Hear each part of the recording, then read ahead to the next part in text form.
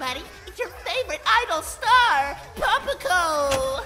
Hell! Alright, listen up, fuckers. I'm only gonna say this once. If any of you, any of you have a fucking anime profile picture, then you can get the fuck out. And since everybody in here seems to be 30 years or older, a man, and sweating buckets while watching 15 year old pop stars, the odds aren't looking very good. Yeah, Hey, that is unfair. I paid for my ticket and I have an anime profile picture. Guards, get rid of him. This is totally unfair!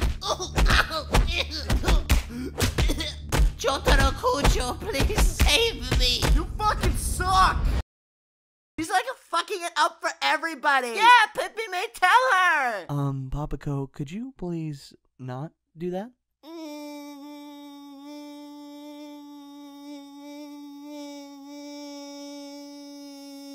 Okay. But she lied. I'm gonna kill every last one of you in this goddamn stadium! I'm gonna be honest, I tried my hardest. You're fired.